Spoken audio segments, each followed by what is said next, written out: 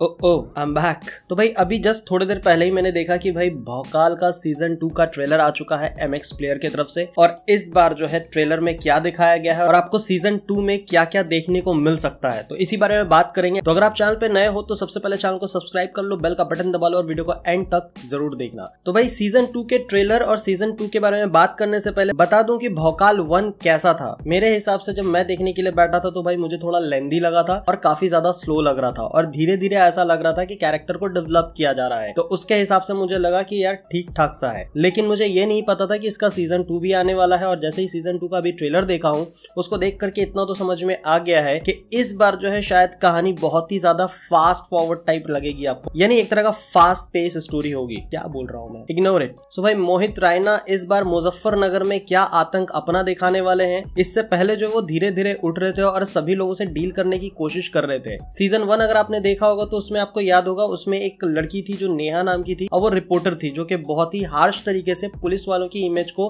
Public के सामने में रख रही थी। इस बार जो है वो फिर से वही काम कर रही है और जिसके जवाब में मोहित रायना कहते हैं कि एग्ज़ाम के बीच में रिज़ल्ट के बारे में बात नहीं करते। एग्ज़ाम हो जाने दो, फिर रिज़ल्ट आपको दिखेगा। और ये काफ़ी तगड़ा सा लगा मुझे। ऐसा लग रहा है कि इस बार जो है मोहित रायना मतलब एकदम फाड़ने वाले हैं और मुजफ्फरनगर से पूरी तरह से क्राइम खत्म करने की पूरी कोशिश करेंगे। एंड आई होप कि ये लास्ट सीज़न होगा। अगर ऐसा नहीं हुआ तो फिर से लेंदी हो जाएगा ये कहानी। लास्ट टाइम में एक लड़की थी जो कि भाई पैसे लेकर के सबको उल्लू बना के भाग रही थी। वो बंदी को भी इसमें दिखाया जा रहा है। और वो दो भाई जो भाई एकदम फुल आतंक मचा के रखे अपने गैंग बना करके रखे हैं, उन लोगों को दिखाया जा रहा है कि वो पहले से और ज़्यादा बिगड़ चुके हैं। वो अपनी फौज बनाने की कोशिश कर रहे हैं। और कुछ ऐसा करना चाहते हैं जिसमें मुजफ्फरनगर पे जो है उनका राज, उनका वो दबदबा, वो डर बना सा रहे। तो भाई इसको देख करके काफ़ी इंटरेस्टिंग लग तो रहा है। और ये वेब सीरीज़ ऐसा लग रहा है कि आठ से दस एपिसोड और हो सकता है कि बारह एपिसोड भी खींच ले। एमएक्स प्लेयर पे है फ्री ऑफ़ कॉस्ट अवेलेबल है तो यार हर कोई देख ही लेंगे, ये सोच करके तो भाई बना दिया गया है। लेकिन still I am waiting for Aashram Aashram three